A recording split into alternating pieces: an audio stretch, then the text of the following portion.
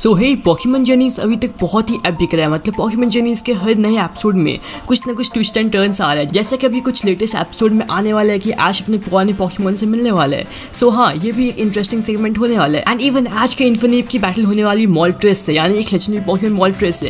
And even Pokémon journeys के अंदर पहले भी कुछ एपिसोड के अंदर बहुत से लेजेंडरी पॉकीमन को भी इंट्रोड्यूस करवाया गया है। मतलब अभी हम लोग पॉकीमन जर्नीस से पूरे अगर सिनेरियो देखे तो उसमें बहुत से लेजेंडरी पॉकीमन का भी इंट्रोडक्शन हुआ है। एंड बहुत से लेजेंडरी पॉकीमन का बैटल भी इसके अंदर दिखाया गया है। तो यार, ये इंटरेस्टिंग तो ऑफकोर्स बन रहा है। लेकिन देखो, इस सीज़न की क्लाइमैक्स कैसी होगी? मतलब कि इस सीज़न का एंड कैसे होगा? ये भी एक क्वेश्चन वाली बात है। सीज़न में अभी तक कुछ ऐसा डिप्लिक्ट नहीं किया गया है कि ये भाई ऐसे एंड हो सकते हैं। बट यार, आज की इस वीडियो में हम लोग यही डिस्कस करने वाले हैं। तो फ़र्स्ट ऑफ़ ऑल यहाँ पे मैं अलोला की बात करना चाहूँगा कि अलोला रीजन की स्टार्टिंग भाई उतनी अच्छी नहीं हुई थी। ये एश हाउस होल्ड वर्क कर तो उतनी अच्छी इसकी शुरुआत हुई नहीं थी। लेकिन उसके बाद जैसे जैसे एपिसोड एंड की तरफ़ बढ़ते गए, वैसे वैसे उनके एपिसोड और भी अच्छे होते गए। एंड वही से एक एपिक एपिसोड निकल के आया। मतलब एंडिंग यार अलोला की बहुत ही ज़बरदस्त हुई थी। तो क्या उस एंडिंग को कम्पीट कर पाएगा यहाँ पे पॉकीमन जर्नीज के अंदर? तो यार ऑफकोर्स यहाँ पे कम्पीटेबल है पॉकीमन जर्नीज की एंडिंग वैसे यार देखो पॉकीमन जर्नीज के अंदर ऐश के पास बहुत सारे अच्छी पॉकीमन्स है। इवन तुम यहाँ पे और पॉकीमन क्या ऐश पकड़ेगा, ये थोड़ी क्वेश्चन वाली बात है। लेकिन लेट्स सी ऐसा होता है कि नहीं। तो वैसे अगर मैं अपनी ओपिनियन में बताऊँ तो मेरे ख्याल से अभी ऐश ने अपने जर्नी के अंदर मतलब पॉकीमन जर्नीज के अंदर जितने पॉकीमन ऐश पकड़ने थे वेल उतने ऐश ने पकड़ लिए। ऐश अभी यहाँ से अपने पुराने पॉकीमन को भी स्विच करके यूज़ कर सकते हैं। एंड इवन मेरे ख्याल से अब यार ऐसा होगा, क्योंकि अब ऐसा टाइम आ चुका है। अभी तुम इन्फोनेप का सिनेरियो तुम लोग देखने वाले हो, अभी कुछ एपिसोड के बाद। एंड उसके बाद मे बी ऐश अपने कोई और पॉकीमन को बुला ले। तो हाँ ऐसा भी हो सकता है। But now the main question is Pokemon Journeys की एंड कैसे होगी? तो देखो, इस पर ऐसे गोल है कि उसको वर्ल्ड चैंपियन बनना है। मतलब उसको अपना रैंक नंबर वन करना है। वैसे देखो एपिसोड के अंदर भी ऐसा हम लोग दिखाया गया है कि कॉम्पिटेटिव बैटल के अंदर आज की भी रैंक धीरे धीरे ऊपर जा रही है। तो आज यहाँ पे फिर वर्ल्ड कोऑर्डिनेशन सीरीज़ के अंदर जो टॉप एट है टॉप एट ट्रेनर्स उनको चैलेंज करेगा। एंड उसमें से अगर वो सबको डिफीट कर देता है, फिर एश वर्ल्ड चैंपियन बन जाएगा। एंड जो यहाँ पे मेन बॉस होने वाला है यानी कि एश उसको डिफीट करेगा, फिर वो वर्ल्ड चैंपियन बनेगा। तो वह लियोन क्योंकि उसका भी रैंक नंबर वन है। एंड उसको डिफीट करने के बाद ही एश नंबर वन बन सकता है। बट यहाँ पे पॉकीमन जर्नीज में एक और चीज़ होगा। बिकॉज़ यार देखो पॉकीमन जर्नीज में दो चीज़ हम लोग को साइमल्टेनियसली दिखाया जा रहा है। तो एक तरफ़ तो अपना एश कैचम है कि वो अपने पॉकीमन जर्नीस के अंदर फाइट करे सभी ट्रेनर्स से अपना रैंक अभी इंक्रीज करे एंड दूसरी तरफ़ है गो गो का भी ये मिशन है कि उसको सभी पॉकीमन्स पकड़ना है। एंड उसका जो मेन टारगेट है वो मियो तो मियो का भी एक बहुत ही ज़बरदस्त आर्क आ सकता है।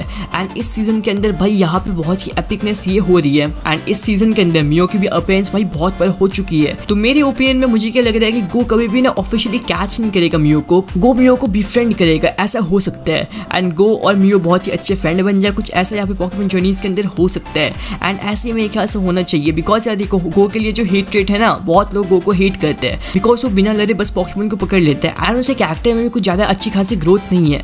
तो उस कारण से लोग इसको हेट करते हैं। एंड इवन दो हेट करना भाई बनता भी है बिकॉज़ यार पॉकीमन जर्नीज के अंदर गो का जो कैरेक्टर है ना, उतना अच्छे से डिप्लिक्ट हो नहीं रहा है। मतलब अगर पॉकीमन कंपनी वाला चाहे तो गो के कैरेक्टर में बहुत ही अच्छे मैच्योरिटी डाल सकते हैं। लेकिन क्या ऐसा होगा? अब वही बात देखने वाली है। बिकॉज़ अभी ये फ़र्स्ट सीज़न है पॉकीमन जर्नीज का। अब यहाँ पे मैं इसको फ़र्स्ट सीज़न इसलिए बोल रहा हूँ बिकॉज़ पॉकीमन के हर एक एक रीजन के एपिसोड के अंदर कम से कम दो या फिर तीन सीज़न तो भाई पक्का रहते हैं। तुम यहाँ पे एग्ज़ाम्पल में अलोला ही ले लो। तो उसके अंदर भी भाई तीन सीज़न थे एंड कैलोस के अंदर भी तीन सीज़न थे एंड हाँ इसके अंदर भी ऑलमोस्ट ऑलमोस्ट दो से तीन सीज़न तो भाई होने चाहिए। मतलब इतना तो भाई यहाँ पे पॉकीमन कंपनी वाले खींचेंगी। मतलब पॉकीमन के फ्रेंचाइज के अंदर जब तक नेक्स्ट गेम लॉन्च नहीं होते, तब तक भाई ये सीरीज़ तो चलना ही है। अगर हम लोग गेम्स की बात कर ही रहे तो पॉकीमन डायमंड एंड पर्ल का रीमेक आएगा एंड उसके बाद यहाँ पे पॉकीमन लेजेंड आरकेएस आएगा।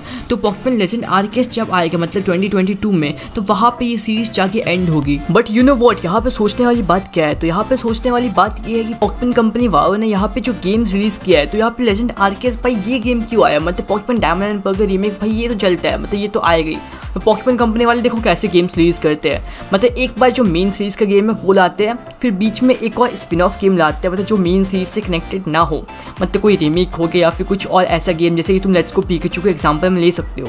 लेकिन उसके बाद जो नेक्स्ट गेम आता है ना, वो हमेशा कोई मेन सीरीज़ का गेम होता है। पॉकीमन शॉर्ट एंड शील्ड आया, जिसका कहीं ना कहीं कनेक्शन यहाँ पे पॉकीमन एनिमे से है एंड फिर आया पॉकीमन डायमंड एंड पर्ल का रीमेक तो हाँ इससे कोई कनेक्शन एनिमे से मुझे नहीं लगता कि होने वाला है ये बस पॉकीमन डायमंड पर्ल का रीमेक था। ओके जैसे कि लेट्स को पीकेचू था वैसे यहाँ पे डायमंड पर्ल को हम लोग मान सकते हैं। ये फिर जो गेम आया वो है पॉकीमन लेजेंड आर्कियस तो इस गेम से यहाँ पे भाई क्या कनेक्शन हो सकता है एनिमे का? अब यहाँ पे भाई ये सबसे मेजर क्वेश्चन है। मतलब क्या पॉकीमन जर्नीज के बाद हम लोग को शिनो का पास दिखाया जाएगा? अगर ये हुआ तो ये पॉकीमन कंपनी वाले बहुत ही बड़ा सरप्राइज़ देंगे सभी को।